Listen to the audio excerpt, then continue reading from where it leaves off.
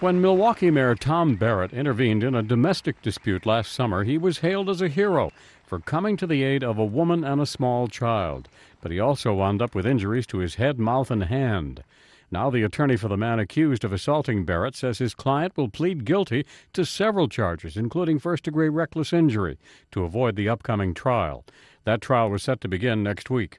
A criminal complaint says the 21 year old assailant, Anthony Peters, was arguing with his daughter's grandmother when the mayor intervened as he was leaving the Wisconsin State Fair. The mayor had to go to the hospital after Peters struck him with a metal object.